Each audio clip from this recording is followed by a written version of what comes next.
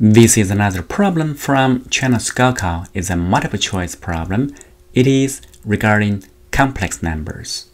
Now here we're given z, which is a fraction of 1 minus i over 2 plus 2i. Of course, i is the imaginary unit. We try to find z minus the conjugate of z.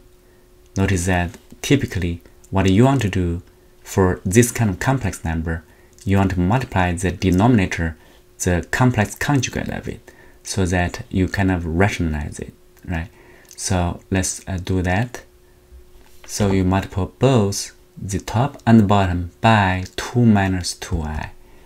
And what you're going to get in the bottom is going to be 2 square plus 2 square, right? So here is 4 plus 4, and here just expand the multiplication on the top when you simplify, you're gonna get negative i over 2. Then you want to calculate z and the conjugate of z, okay, which is negative i. So the answer is A. Very simple complex number calculations. That's from China Gaokao multiple choice problem. Hope you like the video. Please like, share, and subscribe to the channel.